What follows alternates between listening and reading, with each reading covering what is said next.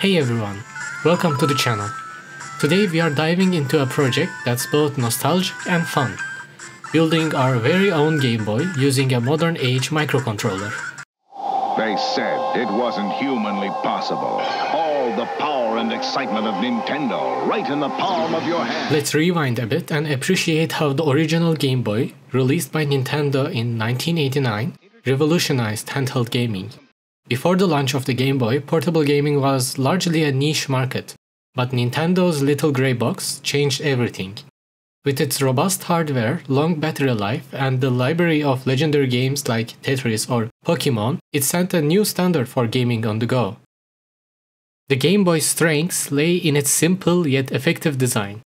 It featured a monochrome dot matrix LCD display, which was groundbreaking for its time and an interface that made it easy for anyone to pick up and play.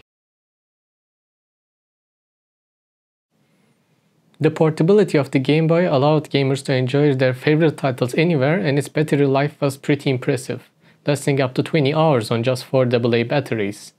Now then, let's take that iconic concept and try to recreate the experience using something from this age, an ESP32 microcontroller. With its relatively powerful dual-core processor, wireless connectivity and ease of use, the ESP32 is a great candidate for making an emulation handheld for Game Boy games, with the added bonus of lower power consumption compared to fully fledged single-board computers like the Raspberry Pi.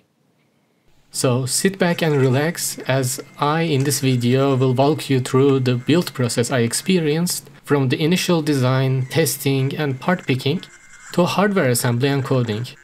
I must warn you though, before building your own system, which you will see is not that hard, you should watch the whole video since during the build process I found out some interesting quirks when building a handheld like this, and I would like to share that experience with you.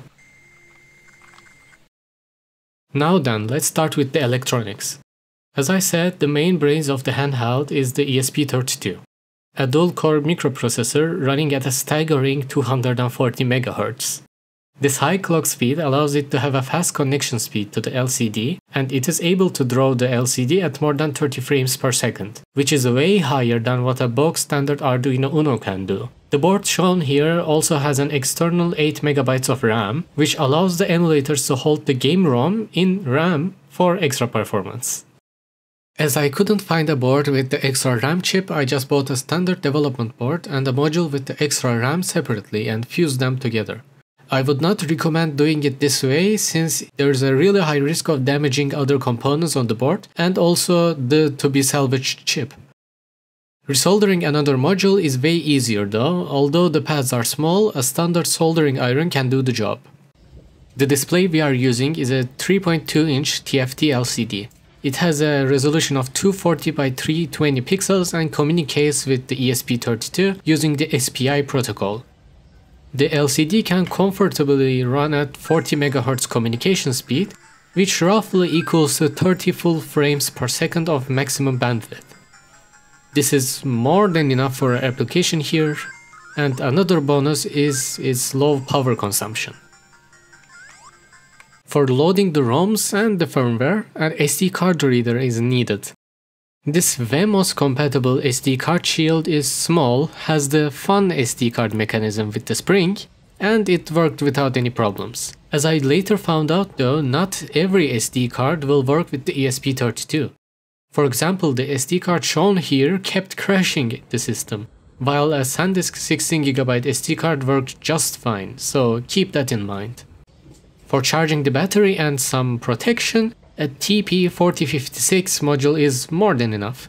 The new models also have USB-C, which is a big upgrade from the micro USB boards found before. The charging current of 1 amp is also plenty for our application.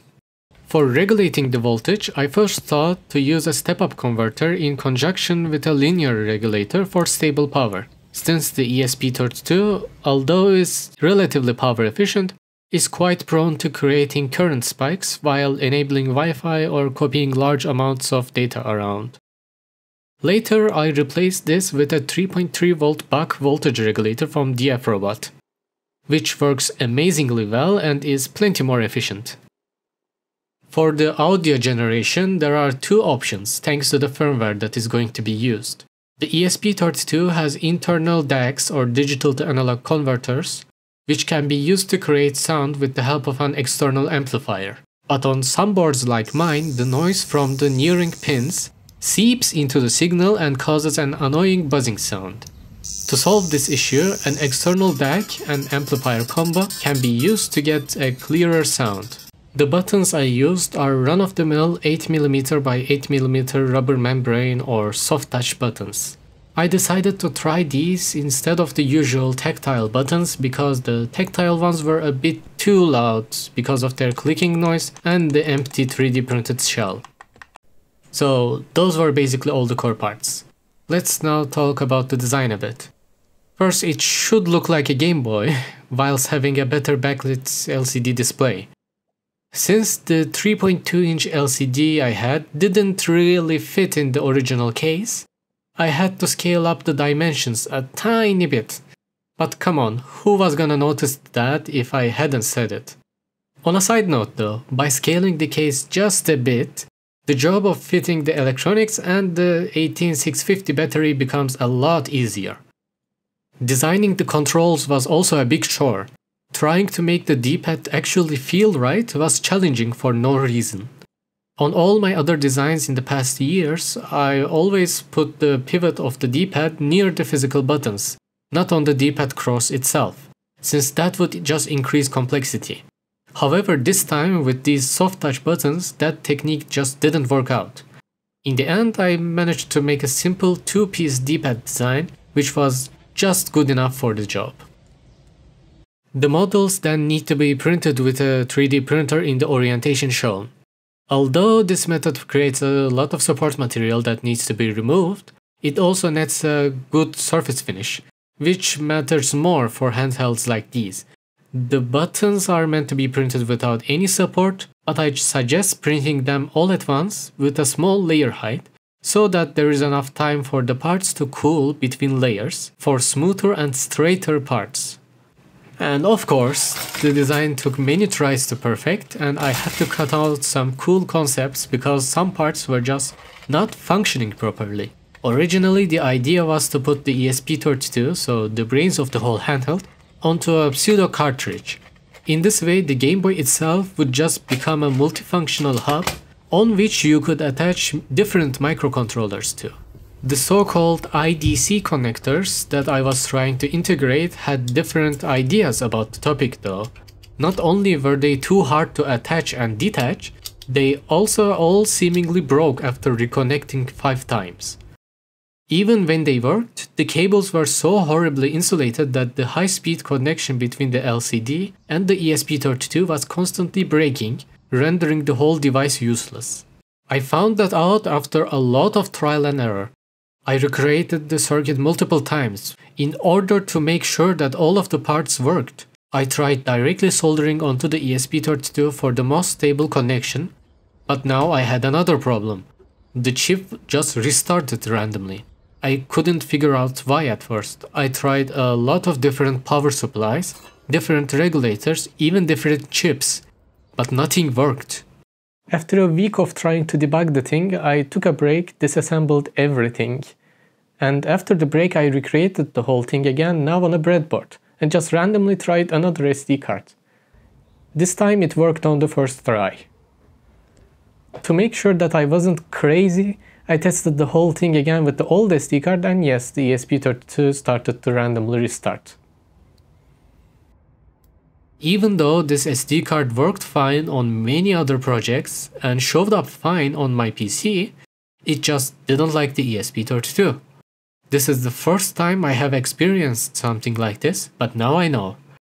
After verifying again that the concept with the removable cartridge won't really work, I just went on and redesigned the cartridge so that I could slide an ESP32 board soldered directly into the cartridge slot. This way, all the instabilities in the data transmission disappeared. Of course, this means that this design isn't exactly modular, but after spending some time with the console, I'm not sure if that would even have mattered. The most fun part of the project is next, actually closing up everything. Some things are secured with screws and some of them are glued with hot glue.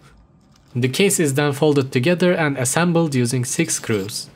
As the screen itself is made out of plastic and is easily scratchable, I would also recommend adding a screen protector, which I did. This was just cut with scissors carefully from a bigger sheet.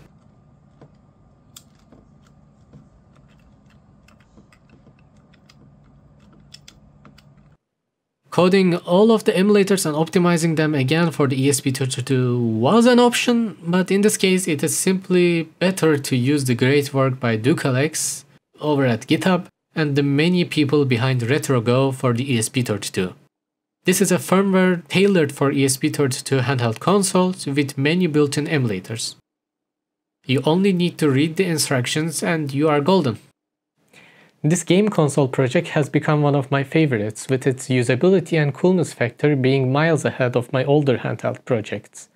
Designing everything and then making it all functional brought a lot of satisfaction, and I hope that this video will also motivate some others to dip their toes into creating cool DIY handhelds too. Thanks for watching and I will see you next time.